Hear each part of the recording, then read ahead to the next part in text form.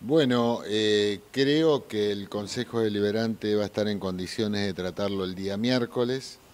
Eh, se necesita la sanción del cuerpo, después esto va a ser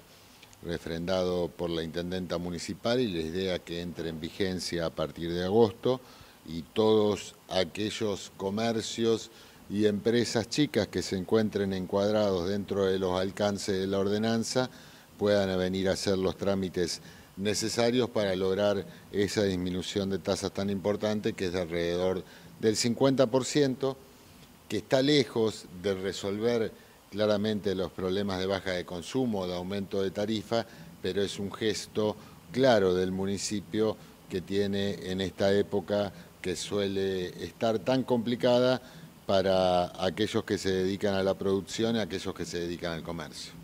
Bien, preguntarte en este sentido sobre eh, el comunicado que sacó la Cámara de Comercio local eh, criticando justamente la declaración de esta emergencia. El comercio ha tenido en estos dos años muchísimos problemas. Primero ha tenido una devaluación que se ha trasladado a precios. Después ha tenido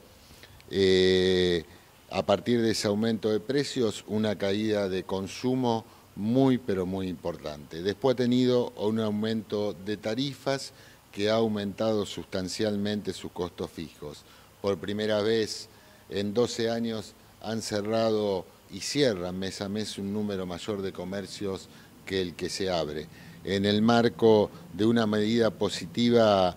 eh, que ha tomado el municipio, la respuesta de la Cámara de Comercio nos da eh, dos, cuestiones o dos indicadores. Primero, que, es importante que siga existiendo porque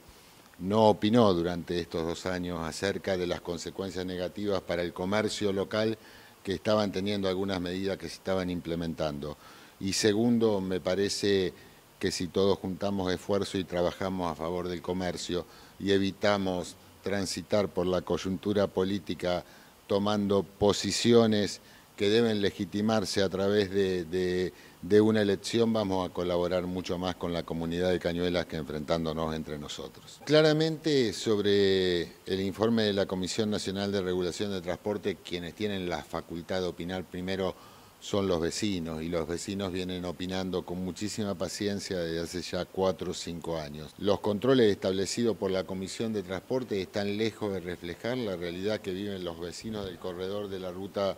205 durante los últimos años. En virtud de esto, la Intendenta Municipal ha dado instrucciones al Secretario de Gobierno para pedir una nueva reunión con el Defensor del Pueblo de la Nación y en segunda instancia ha mandado un proyecto al Consejo Deliberante para pedir una declaración de certeza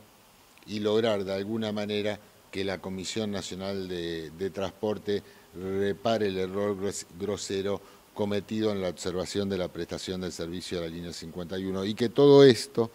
pueda redundar en una mejora necesaria de la prestación del servicio en Cañuelas.